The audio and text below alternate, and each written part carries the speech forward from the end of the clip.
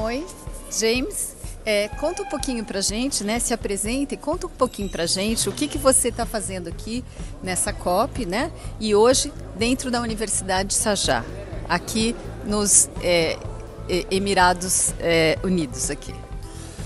Olá, é, meu nome é James, eu sou brasileiro, eu moro nos Emirados Árabes Unidos há cinco anos.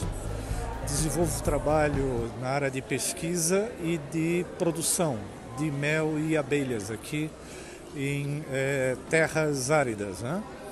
É, estamos trabalhando dentro de uma política é, nacional aqui do país de segurança alimentar, né?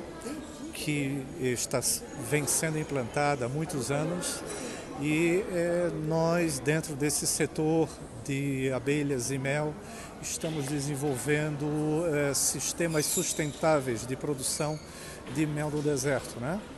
É, como eu sempre, é, quando eu tenho a chance de dizer, em conferências, por exemplo, eu fui o único palestrante do país no mais importante Congresso Mundial de Apicultura no Chile, setembro é, próximo passado e eu, eu, eu, estava ministrando uma conferência sobre a sustentabilidade na apicultura em áreas áridas. Né?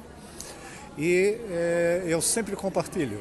Se você é capaz de produzir mel sobre um clima desértico que temos aqui, você é capaz de produzir mel até na Lua. até na Lua. Tchau para vocês. Obrigada, viu, gente? Um abraço. Foi um prazer.